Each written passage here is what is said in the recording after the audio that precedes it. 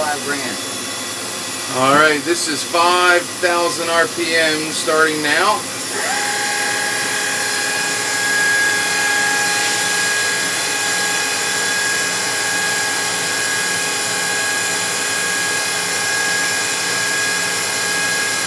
Pick it up the same rate. What is that? I don't want to go too high simply because we haven't warmed it up enough. That's eight grand. That's 8,000 on the RP, uh, RPM. You can tell it's very smooth, no noise.